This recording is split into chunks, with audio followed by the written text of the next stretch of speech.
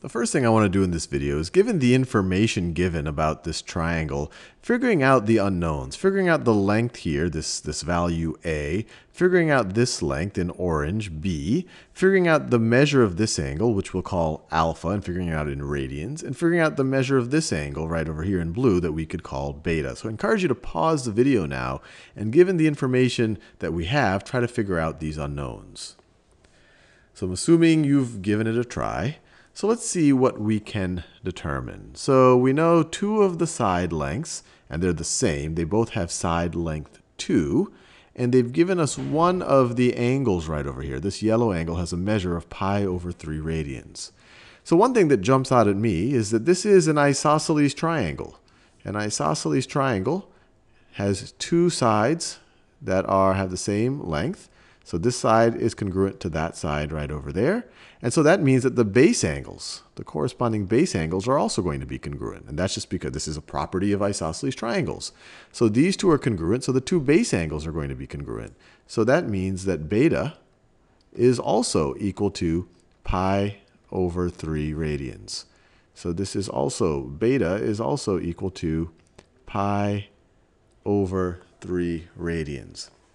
Now let's think about, now what else can we attempt to figure out? Well, if we know beta is pi over 3 and we know this angle in yellow is pi over 3 radians, we can figure out what this angle over here in white is. And I don't know, let's call that angle, the measure of that angle, let's call it x. If we're thinking in terms of radians, x plus this angle plus pi over 3 radians plus pi over 3 radians this is the sum of the interior, pi over 3. This is the sum of the interior angles of this larger triangle right over here. They're going to sum up to pi radians. If we're thinking in degrees, it would be 180 degrees. So those are going to sum up to pi radians. So what's x going to be? In this one, you can almost look straight at it. You say, oh, this is going to be pi over 3. But if you want to solve it a little bit more systematically, you can subtract these two from both sides, and you get x, x is equal to, I'll rewrite this orange pi as 3 pi over 3 pi over 3. This is the same thing as pi. Minus pi over 3, minus pi over 3, minus pi over 3, minus pi over 3, which of course 3 pi minus pi minus pi is going to be pi over 3. Pi over 3. So this angle's measure is also pi over 3 radians.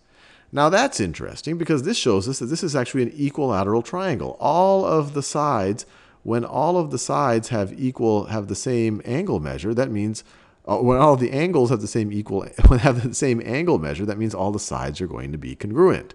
So if this side is 2, this side is 2, then that means that this inside this this entire side right over here, this entire side right over here is equal to 2.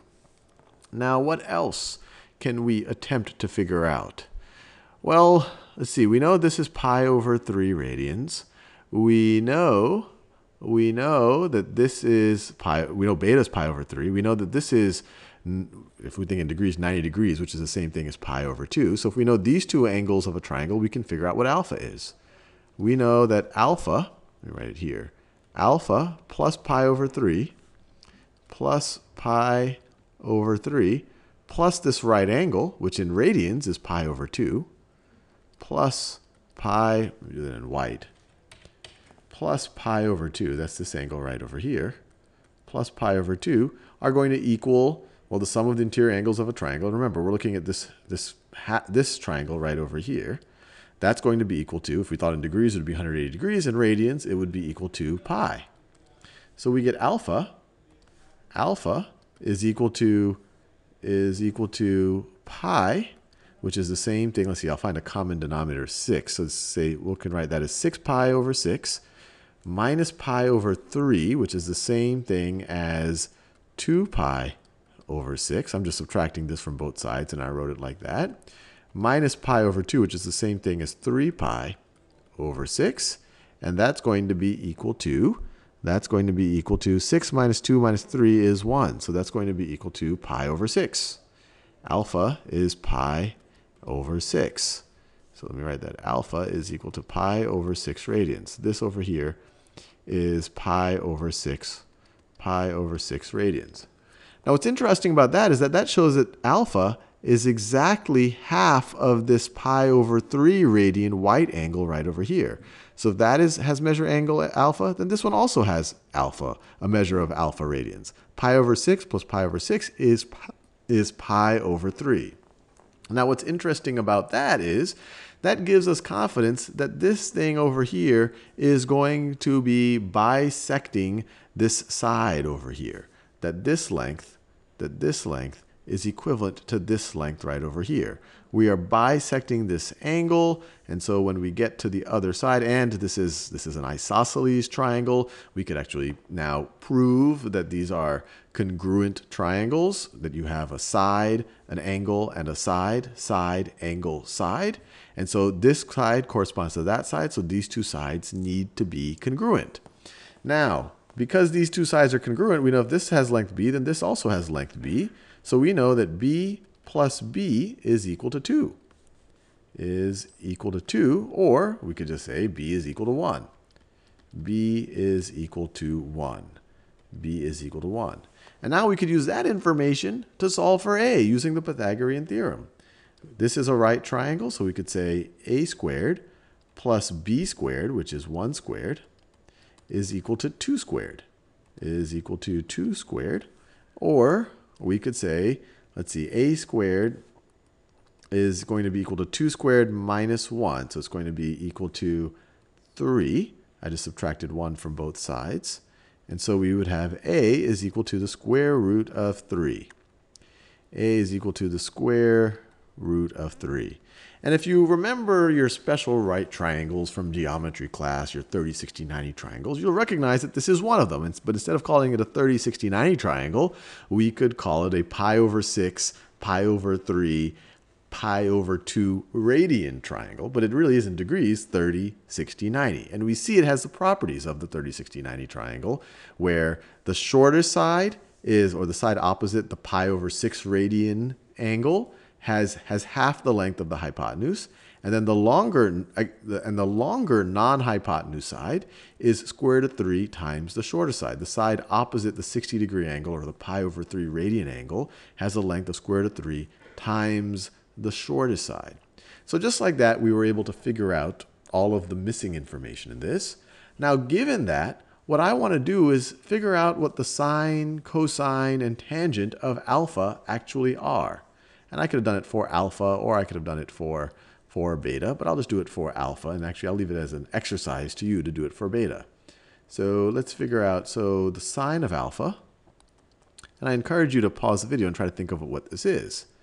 Well, the sine of alpha is the same as sine of pi over 6. And remember, SOHCAHTOA definition. So, so, ka, toa. Let me do toa in a different color. So, ka, toa. Sine is opposite over hypotenuse. So for this angle right over here, the opposite side is 1. So this is equal to 1 over the hypotenuse. 1 over 2. So sine of pi over 6 is 1 half. Now what is cosine of alpha? Or what is cosine of pi over 6? Cosine of pi over 6? Well, cosine is adjacent over hypotenuse. So the adjacent side to this angle, that's not the hypotenuse, is square root of 3. And the hypotenuse, once again, is 2. So the cosine of pi over 6 is square root of 3 over 2. And then finally, for the tangent of pi over 6, for the tangent, tangent of pi over 6, pi over 6, we could just take the sine over the cosine, or we could say it's the opposite over the adjacent. The opposite is 1, is 1. The opposite angle to alpha is 1, and the adjacent is square root of 3. So it's 1 over the square root of 3. And if you don't like irrational numbers in the denominator, we can multiply it by the square root of 3 over the square root of 3 to get square root of 3 over square root of 3 over 3. And we are done. We have figured out a lot about this triangle.